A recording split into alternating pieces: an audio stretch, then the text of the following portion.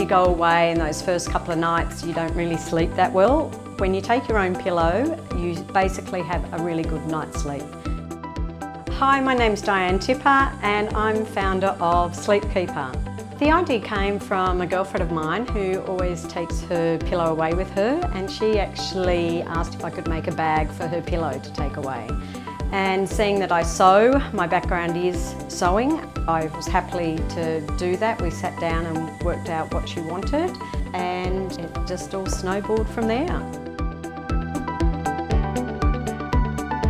Sleepkeeper can be for lots and lots of people. It's generally for the person that wants to travel because it will make your pillow so much smaller and more uh, portable. For corporate travellers, for mums, dads, kids, kids school camps, scouts, backpacker, easily clip to your backpacks. So really anyone that wants to travel and be able to sleep well for health and wake up feeling refreshed and fine.